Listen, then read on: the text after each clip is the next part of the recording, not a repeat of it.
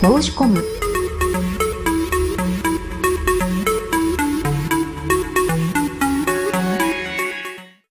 韓国で話題沸騰。カーリング女子準決勝は清純美女 VS メガネの先輩。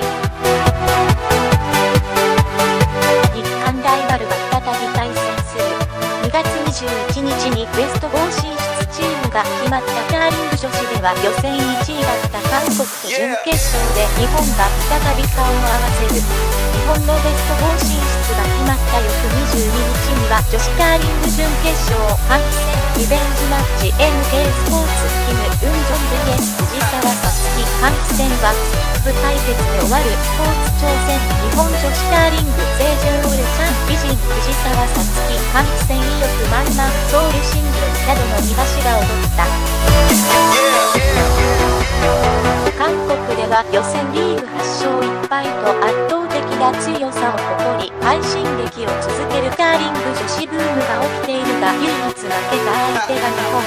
しかも逆転負けだった。感染した50代の人が語るああもう勝った。勝ったと安心していたらまさかの逆転。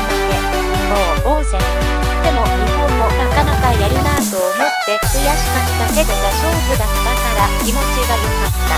それがもう一度見られるなんて嬉しいわ。それに韓国も日本の選手もみんな可愛くて特に藤澤選手。彼女の表情が変わるのが可愛くてなんだか見ていると楽しい。カーリングがこんなに面白いスポーツだなんて知らなかった。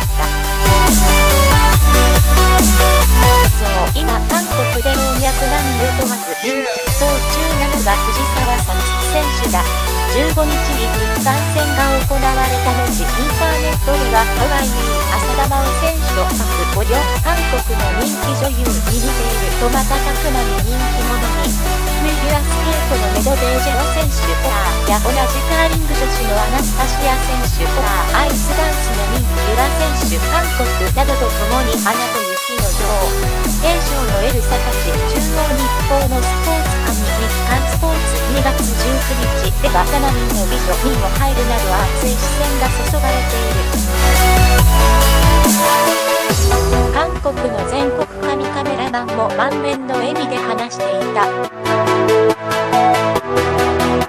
この間の換気扇を見てあまりの可愛らしさに目を奪われましたの優しい笑顔に韓国が逆転負けしたのについつい棒が揺らんでしまって笑い。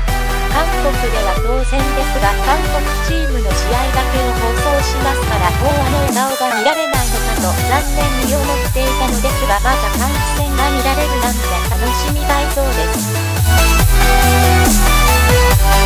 韓国のカーリング女子は出場選手全員がニンニクの名産地として有名な慶尚から以上ニンニク少女と呼ばれたり全員の姓が金キムなのでチームキムと呼ばれたりとこちらも爆発的な人気になっている。中でもスキップのキム・ウンジョン選手は試合中に見せる表情一つ変えないポーカーフェイスと普段の愛らしい表情とのギャップに燃えると人気。メガネの先輩という愛称がつきリードのキム・ヨンミ選手に指示を出す際のヨンミヤーという言葉が大流行している。全国神の記者が言う。感情がすぐに顔に出てしまう弱い精神力を直そうとポーカーフェイスにしているそうです。キム・ウンジョン選手が叫ぶ4ミヤーはその抑揚や高さからストーンの方向などが変わると言われていてどんな指示を出したのか予測するのも楽しみになっているようです。また、韓国選手の剥きたての卵のようなピカピカな肌も話題になっていて、韓国に留学している日本人の女子学生は、あのつるてかな肌はどこから来るんだろう、なんて友達と話していました、と語っていた。